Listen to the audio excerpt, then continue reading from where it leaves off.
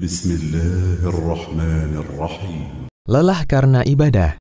Semua manusia pasti mengalami kelelahan karena menjadi bagian dari sunatullah bagi setiap makhluk. Lelah itu tidak hanya dialami oleh mereka yang beribadah, tetapi dialami oleh semua yang beraktivitas, semua yang bergerak. Allah berfirman yang artinya, "Wahai manusia, sesungguhnya kalian benar-benar lelah menuju Allah sampai kalian bertemu dengannya. Yang dimaksud lelah menuju Allah adalah lelah menuju kematian. Karena setiap manusia yang mati pasti bertemu Allah.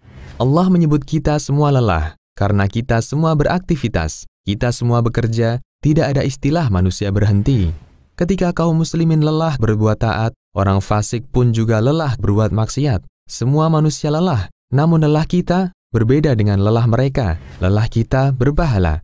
Allah berfirman yang artinya, jika kamu menderita kesakitan, maka sesungguhnya mereka pun menderita kesakitan pula, sebagaimana kamu menderitanya, sedang kamu mengharap dari Allah apa yang tidak mereka harapkan. Semoga lelah kita mengantarkan kita untuk bebas dari neraka. Nabi Shallallahu Alaihi Wasallam bersabda, setiap hari semua manusia akan mempertaruhkan dirinya. Apakah dia akan membebaskan dirinya dari neraka, ataukah dia akan membinasakan dirinya di neraka?